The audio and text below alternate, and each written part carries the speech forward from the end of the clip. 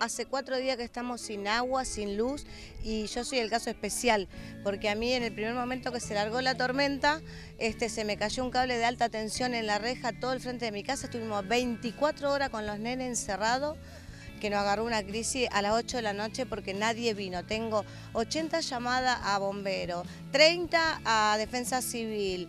Eh, del app ya incontable lo tengo todo registrado en el celular, hasta que no se, acabó la, batería y no pudimos llamar a ningún lado. Así que empezamos a los gritos hasta que, bueno, uno de los vecinos vino que sabe de electricidad y sacó el cable. Es más, el cable todavía está colgado. Nunca vino nadie, ninguna cuadrilla.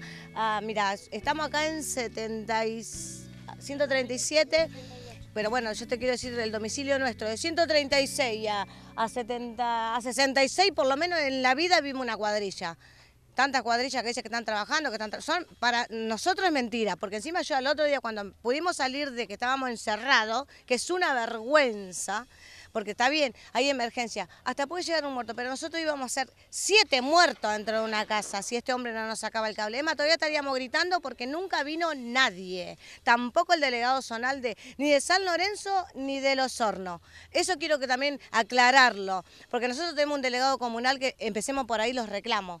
¿eh? Empezamos por ahí, por adelante, por todos lados. No solo yo, la gente también, ¿eh? la otra gente que sabe cómo yo estuve y cómo estamos todos. Y ahora estamos todos, primero que se robaron los cables ahora. La línea nuestra se robaron.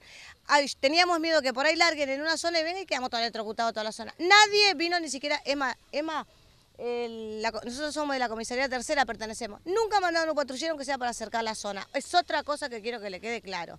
Estamos totalmente desamparados, desamparados, porque acá hay familias que tienen a partir de los cinco hijos en adelante.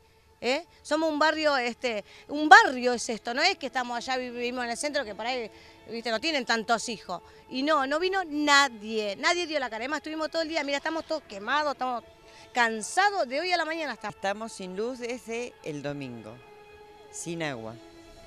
Tenemos gente insulino dependiente, gente discapacitada, entre las que me encuentro.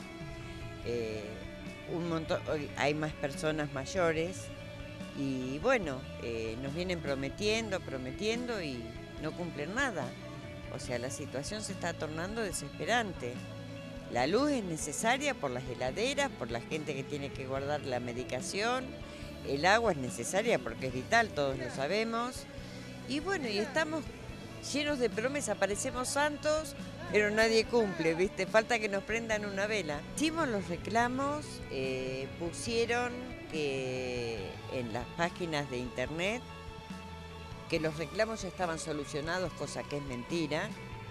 Vimos cuadrillas de DELAP o las que contratan ellos, nos decían dentro de esta tarde, hoy nos dijeron a las 10 de la mañana para el mediodía tienen luz, nada, nada. Entonces la gente decidió hacer esto, nosotros nos unimos porque somos del mismo barrio y bueno, acá estamos, tranquilos, pacíficos, pero reclamando algo que pagamos y que tenemos derecho a tenerlo.